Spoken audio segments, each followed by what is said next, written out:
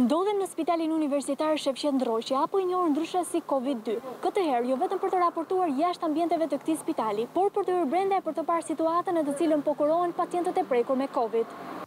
Përpara se t'u drejtohemi pavioneve nga ku po kurohen njëqind e nëntëdhjetë pacientët me Covid nëntëmbëdhjetë, si fillim duhet të mirëpajisemi me materialet e posaçme mbrojtëse. Kjo veshje të jep përshtypjen se po shkon në luftë, me një armik që nuk përzgjedh dhe nuk po ndalet.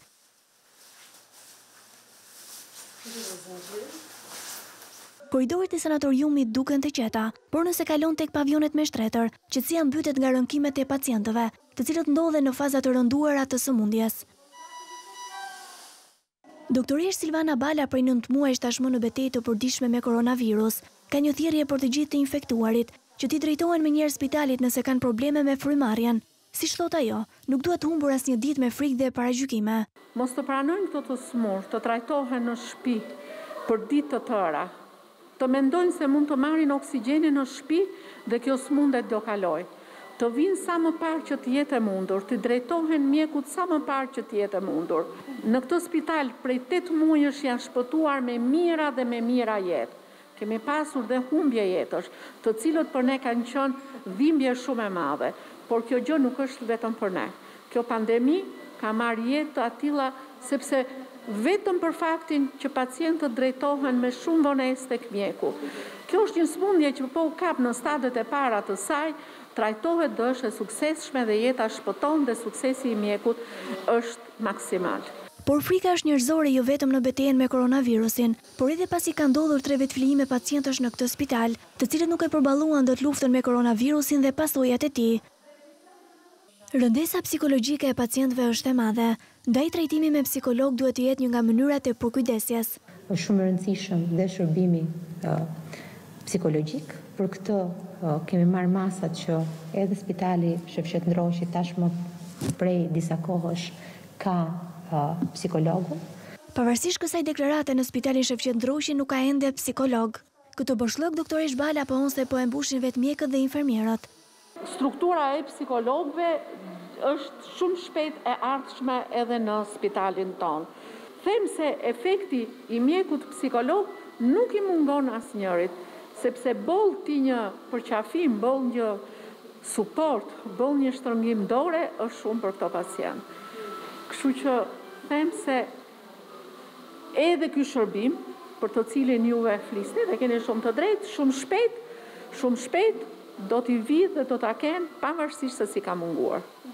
Shtretërit e këtij spitali janë të zënë me pacientë, të cilët as nuk e kishin menduar se do të ishin prekur kaq shumë nga Covid nëntëmbëdhjetë, madje edhe staf mjekësor dhe sanitar.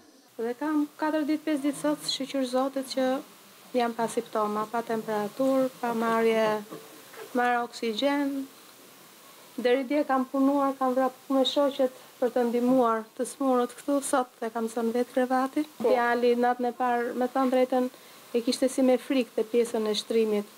Një ndër pacientët e shtruar në këtë spital është edhe ish-trajneri i Kombëtares së Basketbollit për meshkuj, por edhe i Tiranës, Roland Avrami, infektimin me Covid edhe e kishte menduar, por jo shtrimin në spital. Asnjëherë. Unë biles rri gjithë ditën kafe, takoj njerëz, hyj me dalin, unë hiq kështu, pa maska, pa gjë.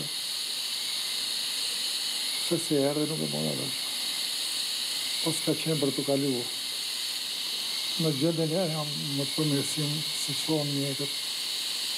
Po vajzat që përmirësim, por është vetëm fillimi.